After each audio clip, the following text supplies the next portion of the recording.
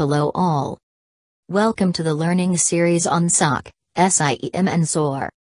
In this video, we shall understand various deployment models of Security Operations Center in detail and how it functions. Let's get started.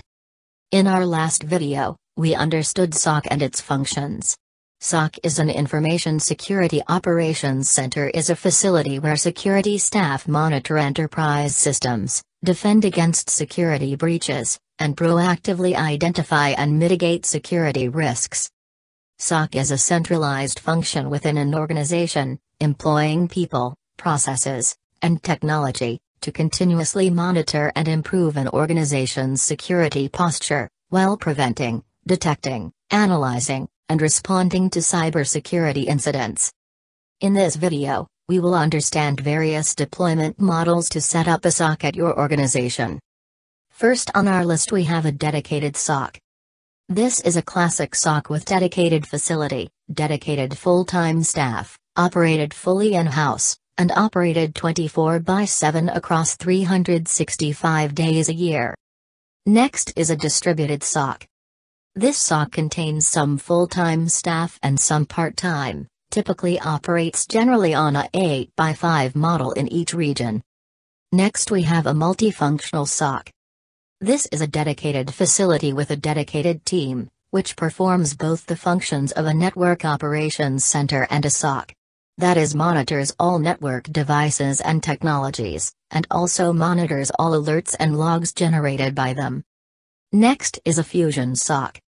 Fusion SOC is a traditional SOC combined with new functions such as threat intelligence, operational technology.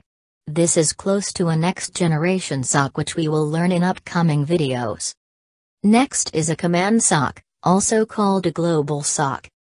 Global SOC coordinates with other SOCs in a global enterprise, provides threat intelligence, situational awareness and guidance, Next is a virtual SOC.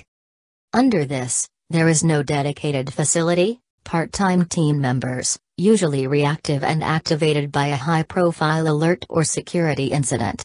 The term virtual SOC is also sometimes used for an MSSP that is a managed security service provider or a managed SOC. Last on our list we have the managed SOC, managed by a managed security service provider or a managed detection and response tool. Many organizations are turning to managed security service providers to provide SOC services on an outsourced basis. Modern offerings are called Managed Detection and Response. Managed SOCs can be outsourced completely or co-managed with in-house security staff. This is very useful considering the nature of operations, and majority of companies follow this model. I hope the content was useful. Please don't forget to like the video if you liked it. Also, please subscribe to the channel to stay on top of all the upcoming videos. Thank you.